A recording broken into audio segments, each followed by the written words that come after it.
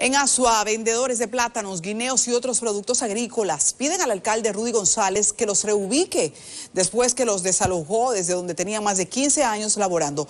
Marcos Lorenzo nos transmite cuáles son esas quejas al visitarlos. Sorángel Melo, una señora con tantos años vendiendo guineos, plátanos y rulos, luego de ser desalojada de su puesto de trabajo, única fuente de ingreso, desconoce cuál será su paradero cuando yo llegué a las seis estaba lleno de policía y de guardia. Cuando yo llegué vendí un guineo y un rulo y el que me lo compró lo puso ahí en la acera y vino uno de los trabajadores del síndico y lo eflecó. A los vendedores no le ha quedado de otra que refugiarse en pequeños callejones. Yo pensaba que este síndico era, era del pueblo. Pero este síndico no es del pueblo, este es un síndico abusador del pueblo. ¿Quién sale con una mudanza sin saber para dónde se va a meter? Entonces tú no puedes venir a desalojarnos nosotros para tirarnos y váyanse para su casa. Que cuando se halle algo, yo vuelvo y lo traigo. No.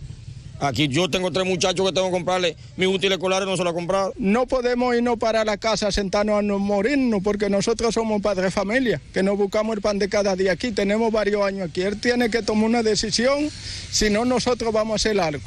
Mientras que una señora, al ver el grito de los vendedores, dijo lo que el alcalde tiene que hacer es tapar los hoyos de las calles de la ciudad. Me estaba al partir cocote ahí en esa calle, que arreglen la calle, y porque uno no haya eh, cómo caminar. Un envejeciente, quien tiene su residencia frente al mercado, dijo que cuando el alcalde llegó acompañado de sus seguidores, enseguida rompieron el toldo de un negocio de su hijo, situación que le provocó gran temor.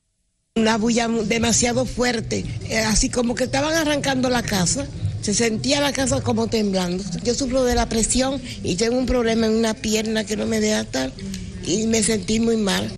Otro de los vendedores dijo, parece que solo hacen este tipo de maltrato contra los más humildes, mientras los ricos de Asua se han apoderado de la mayoría de las aceras para sus negocios, pero la alcaldía no hace ni dice nada. Para CDN, Marcos Lorenzo.